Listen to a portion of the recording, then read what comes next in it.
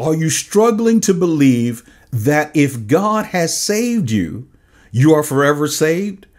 We'll discuss this wonderful truth, the truth of God's amazing love and His amazing grace as we continue our journey through the scriptures on Untwisting the Gospel.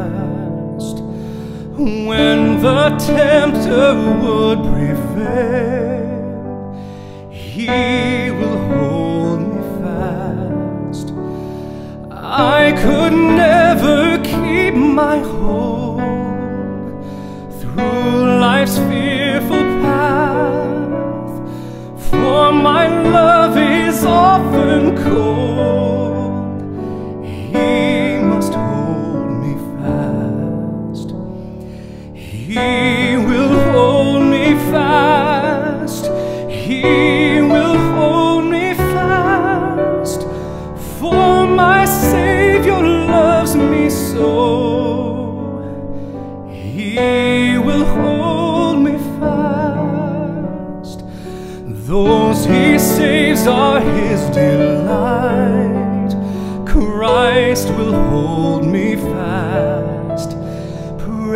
Precious in his holy sight.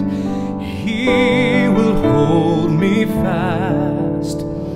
He'll not let my soul be lost. His promises shall last.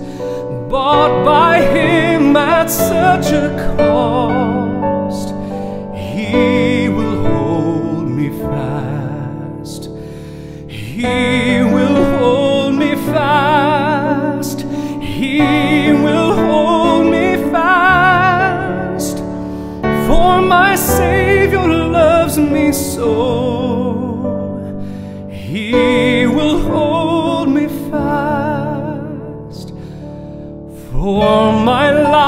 He bled and died. Christ will hold me fast. Justice has been satisfied. He will hold me fast. Raised with him to endless life.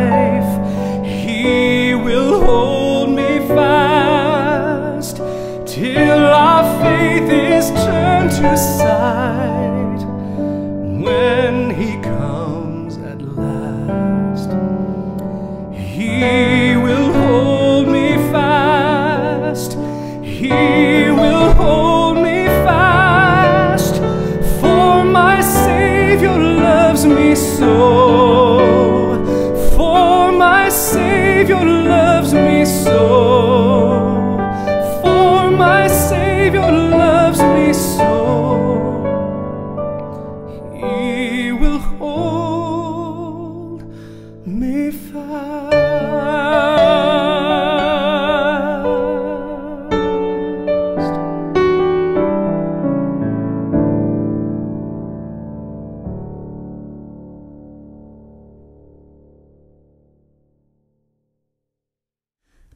asked me, Dana, do you believe once saved, always saved? Well, I say, depends on who's doing the saving. If God has saved you, you are forever saved. End of story. No argument. Well, Dana, how can you be so sure? This takes us to our text in Jude. Jude 1 says, Jude, a bondservant of Jesus Christ and brother of James, to those who are the called, beloved in God the Father, and kept, meaning preserved, sealed for Jesus Christ. Did you get that? Kept for Jesus Christ.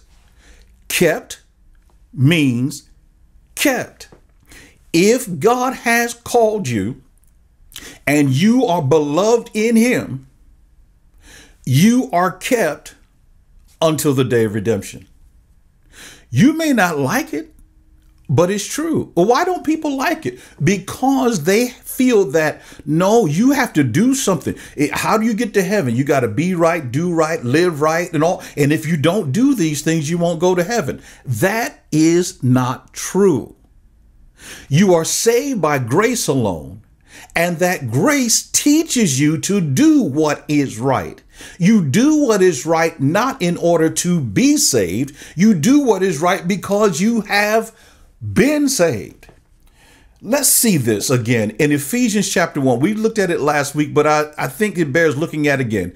Ephesians chapter 1, verse 13. In him also, after listening to the message of truth, the gospel of your salvation, meaning the message, the story of Jesus Christ, his death, burial, and resurrection, having also believed, you were sealed. You were what? You were sealed or preserved in him with the Holy Spirit of promise who is given as a pledge or earnest. Or earnest means you set down money proving that this is your possession and you have an intention to redeem it, to, to bring it back or to pay for it in full. Again, verse 14, who is given as a pledge of our inheritance with a view to the redemption of God's own possession to the praise of his glory. God saves you and keeps you to the praise of his glory because you are his own possession. And because God is our Father, He is our protector, and He will not allow one of His own to be lost. Why? Because we were promised to His beloved Son before the foundation of the world. And when God the Father makes a promise to God the Son, you can be guaranteed it is going to happen. Again, we are the beneficiaries of what was established before the foundation of the world. I think we can just take about 10 seconds and say, Thank you, Jesus. Thank you for saving us. Though we have been saved and we are forever being kept, that doesn't mean we don't sin. But our sin does not change our relationship to God. The sin of the believer does not change his or her relationship to God. Well, Dana, you're saying you can do anything you want. I didn't say that. You're thinking that. And because people who think that do not have a clear understanding of what grace is. Grace teaches us to say no to all ungodliness. Those who have been saved by grace desire to do good works, not to be saved, but because we have been saved and desire to please and glorify our Father in heaven. Now, Ephesians 4 verse 30 says just that that we can that our sin does not change our status with God. Do not grieve the Holy Spirit. In other words, do not sin. When the Holy Spirit tells you to do something, do it. Do not grieve the Holy Spirit of God, by whom you were, what's that word there? Sealed for the day of redemption. We were sealed. Justification occurs the moment we believe. It means that a believer, a sinner, a rebel is put in right standing by God. Again, we saw in Ephesians 1 that the moment you believed, you were sealed with the Holy Spirit.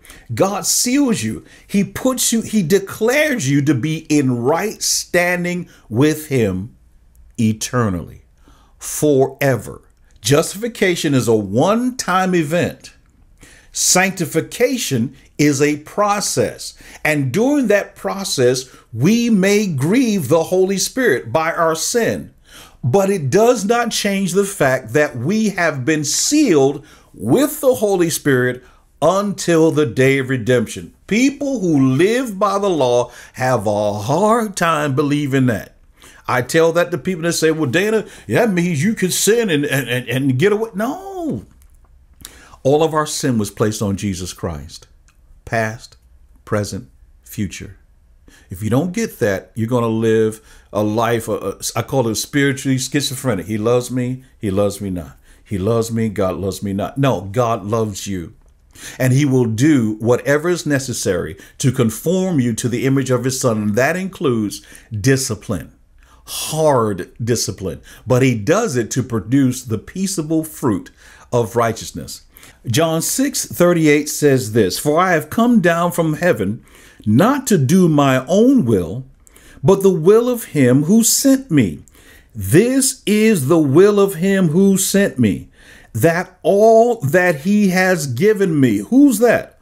All the Father has called, those who are called beloved in God the Father. Again, verse 39. This is the will of him who sent me, that of all that he has given me, I lose nothing, but raise it up on the last day. Verse 40. For this is the will of my Father, that everyone who beholds the Son and believes in him just as in Ephesians 1:13, will have eternal life, will be sealed by the Holy Spirit until the day of redemption. And I myself, meaning Jesus Christ, will raise him up on the last day. I mean, the scripture speaks for itself. It just shouts it. Jesus, you know, Jesus said it himself. There are those who don't like Paul. I just want to inform you. There are Christian groups, people who do not like Paul, and they try to pit Paul's writings against Jesus. So they say, well, we're only going to follow what Jesus says. Well, Jesus said right here that all the Father gives him, he will lose none. That is the will of the Father. He will lose none. And if you are in that number, you will never be lost. Amen. Jesus referred to himself as the good shepherd meaning he protects his sheep. Jesus protected his sheep with his life so that his sheep might have life eternal. We see this in John 10, verse 26.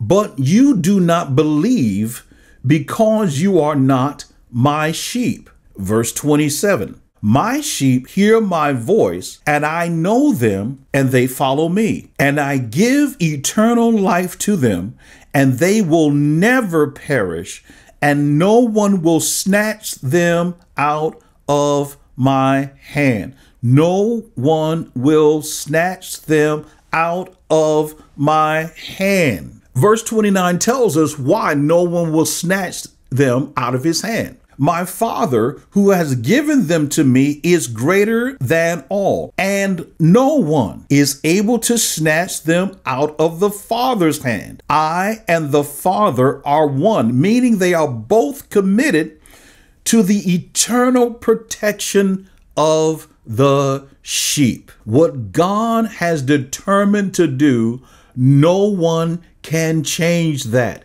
God does whatever He pleases, and it pleases him to save his sheep.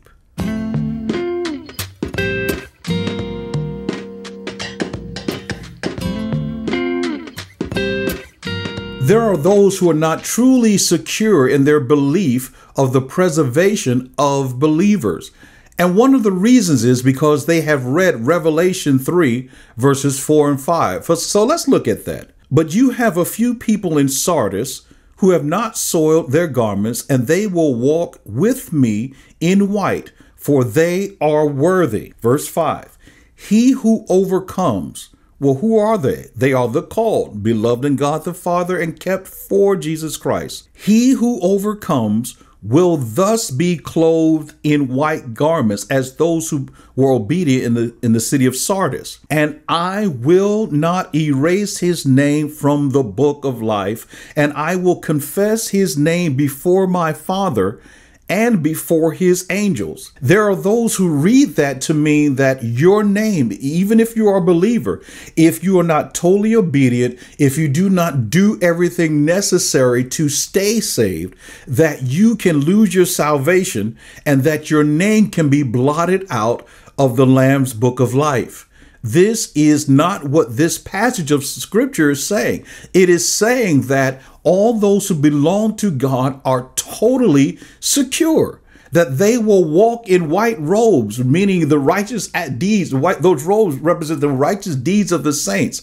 And there is no way their name will be ever blotted out of the Lamb's book of life. It will not happen. It's not saying there's a possibility. It is talking, it is saying that there is absolutely no possibility and that Jesus Christ will confess the name of every believer before his Father and before his angels. So there's no need to be confused about that. He's not saying your name can be blotted out.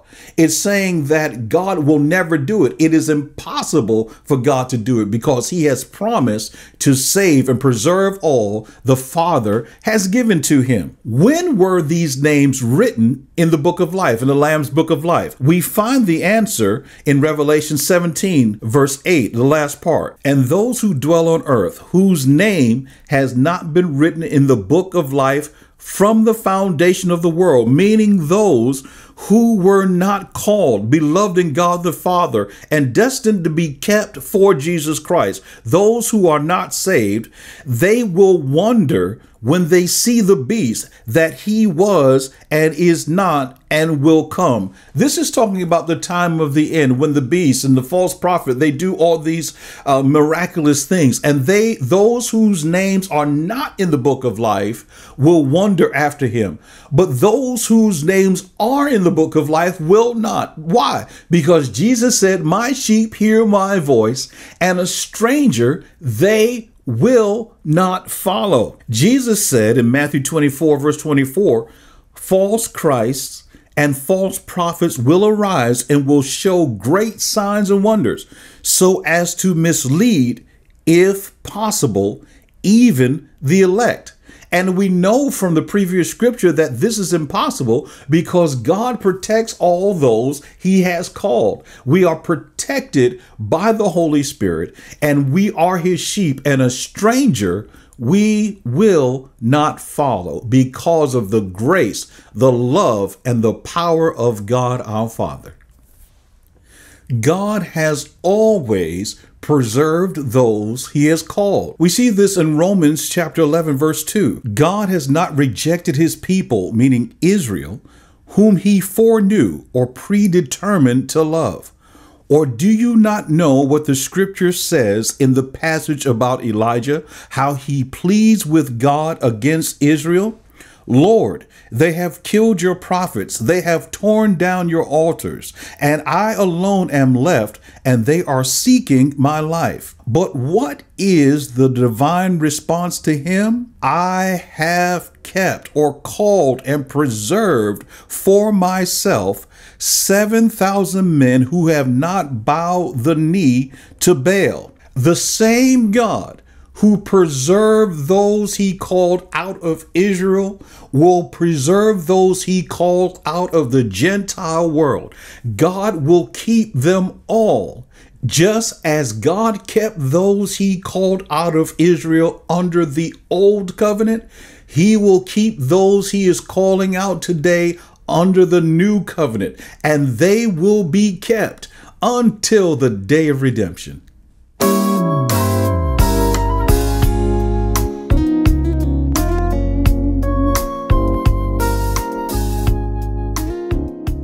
2 Timothy 2:19 says, "Nevertheless, the firm foundation of God stands, having this seal: The Lord knows those who are his, and everyone who names the name of the Lord is to abstain from wickedness." In other words, produce fruit in keeping with repentance.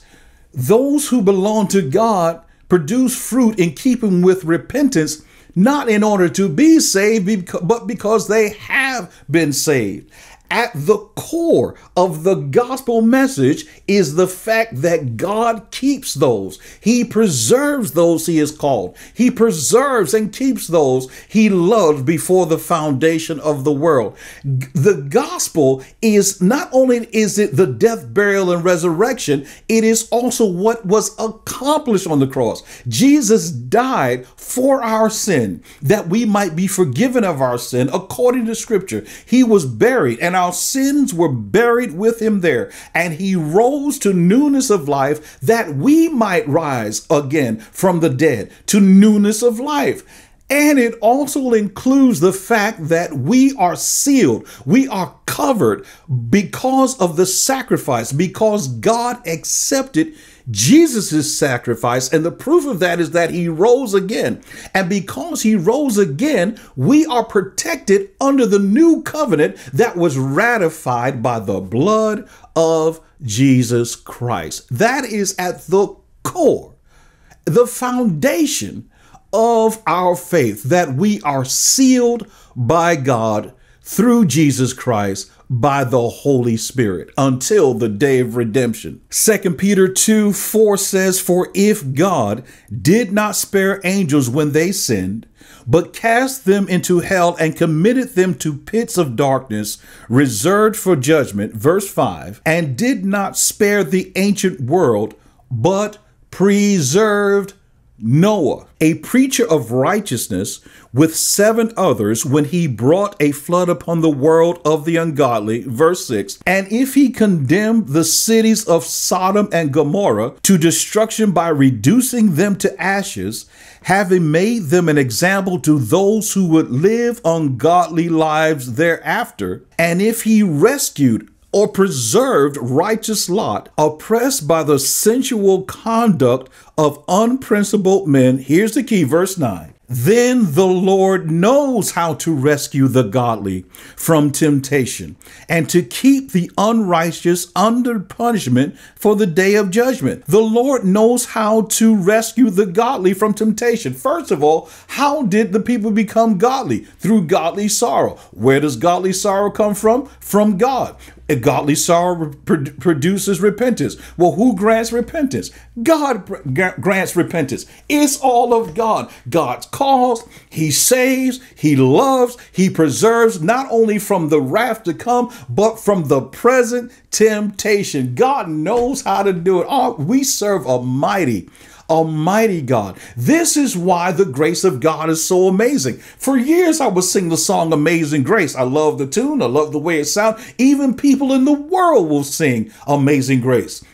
It will bring them to tears, but they do not understand the saving grace of God. And when you understand that, it changes your life. Not only do you, you understand what Jesus did, but you understand what it means. It means that you are a new creature, that you have been made alive with Christ. And as a result, you no longer desire to live for yourself, but you desire to take up your cross, deny yourself, taking up your cross and following Jesus Christ no matter the cost. And you know that you will persevere. You know that you will be preserved until the end. There's a difference in doing something hoping you will be preserved and knowing you will be preserved.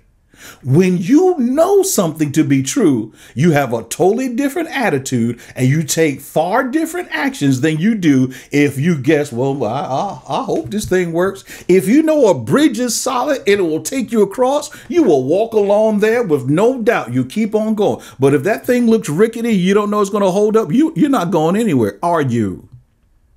Jesus Christ is the bridge that links us to God, and that bridge will never collapse. It doesn't sway in the wind. It is it is a rock it, that carries us all the way to heaven. Romans 6 23 says, For the wages of sin is death, but the free gift of God is eternal life by grace through faith in Christ Jesus our Lord. And Romans 3:29 says for the gifts and the calling the gifts. What gifts? Grace, through faith, leading to salvation. For the gifts and the calling of God are irrevocable. What does irrevocable mean? Irrevocable. What does kept mean? It means kept. God will keep you because he will not go back on his word. He will keep you. Hebrews 10 14 says, For by a single offering he, Jesus, has perfected for all time, meaning justified with perfect standing before God, those who are being sanctified. And who are they? The called, beloved in God the Father, and kept for Jesus Christ. Verse 15, and the Holy Spirit also bears witness to us. For after saying, this is the covenant that I will make with them after those days, declares the Lord. I will put my laws on their hearts and write them on their minds. And here it is in verse 17. Then he adds, I will remember their sins and their lawless deeds no more. God doesn't keep us because we deserve to be kept. God keeps us because He has invested in us. He has made us His own. And as a good and righteous Father, He protects His own. I know people have had bad experiences with fathers, and sometimes it's hard for them to understand this concept. But, brothers and sisters, God is not like man. God is not like man that he should lie. Our Father God is perfect in his love, he is perfect in compassion, and he loves us in a way that no earthly father can. So, if you have never been loved that way by your Father, I'm here to tell you today that God, your Father, loves you that way. And when you trust Him, the more you trust Him, the more you will see and experience that love in ways that will blow your mind and bring joy to your heart. Matthew 26, 27 says, And when he had taken a cup and given thanks, he gave it to them, saying, Drink from it, all of you, for this is my blood of the covenant. What covenant? The new covenant, which is poured out for many, meaning the sheep, the called, those beloved in God the Father, for forgiveness of sins. The sin issue has been taken care of. God will never condemn you for the sins of your past. He will not condemn you for the sins you commit today. Now, He will correct you for the sins we commit today and he will correct us for the sins that we commit tomorrow, but he will never. There is therefore now and tomorrow no condemnation for those who are in Christ Jesus. Amen.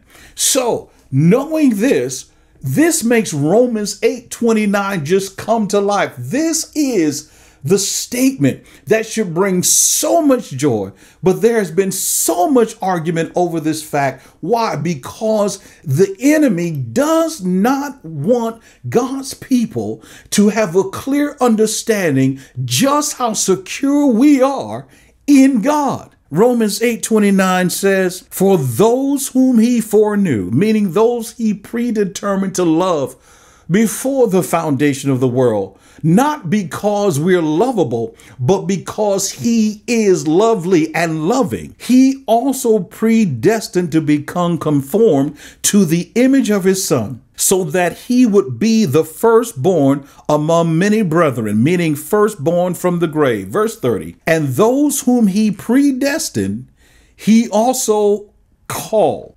And those whom he called, he also justified, made right with him forever. And those he justified, he also glorified. It's talking in the past tense. Why? Because it's already done. Verse 31. What then shall we say to these things? If God is for us, according to his predetermined will, who is or can be against us? Father in heaven, we thank you that we are your children today, that now we are your children. Lord, we thank you for this liberating truth that we belong to you and that you are protecting us, not just from the wrath to come, but you are protecting us from the tempter and from temptation that we might glorify you. Father, again, we pray for those who are outside of the ark of safety.